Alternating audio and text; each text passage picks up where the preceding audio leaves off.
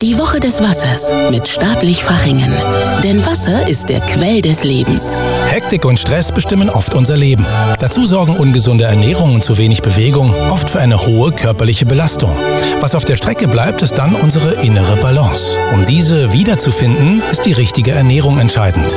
Und Wasser spielt dabei eine zentrale Rolle.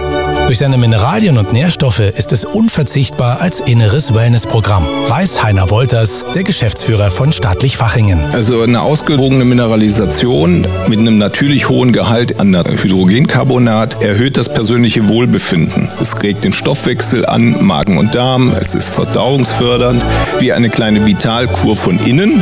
Und Menschen trinken gerne und sollen auch viel trinken. Und wenn das dann noch Genuss macht, dann ist es besonders schön. Mehr Wissenswertes zur inneren Balance durch Wasser auf klassikradio.de.